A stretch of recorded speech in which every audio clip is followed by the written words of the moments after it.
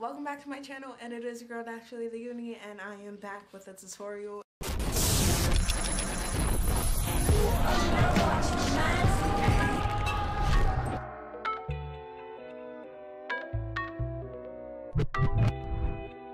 with a tutorial and it is not the usual for me. I am not doing a makeup tutorial today. I'm not doing a makeup haul today. I'm not doing a hair tutorial today.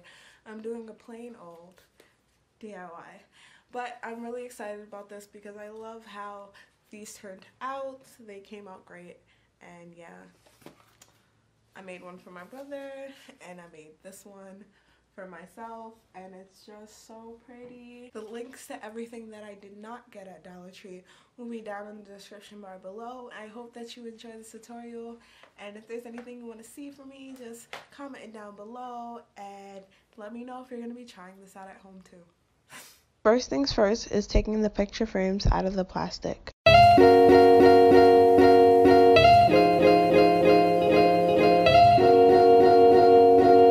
Now I'm taking apart the picture frame so that I could use the glass and turn that part into a chalkboard.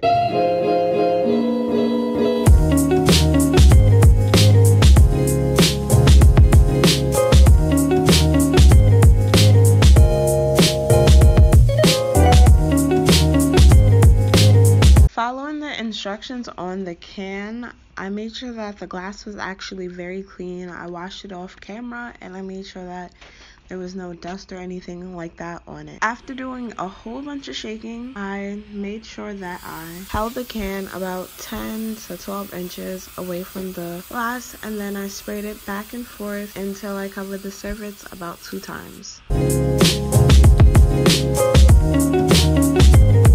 Then after letting that sit for 5 minutes, I go back and I do another round of the same thing.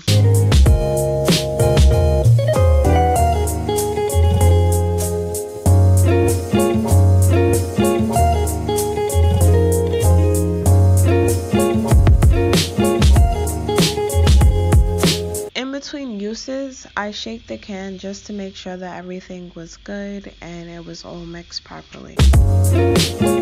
Thank you.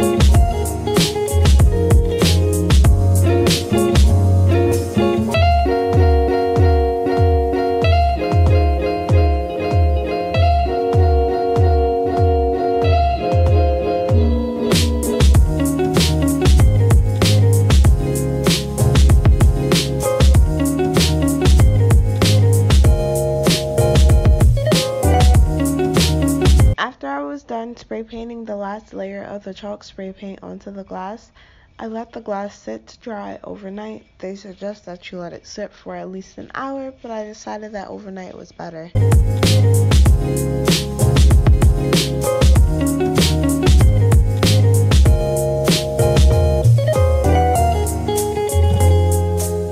Painted the frames off camera, but I will still be leaving everything that I used down in the description bar below, just in case you want to use it too. It was really easy.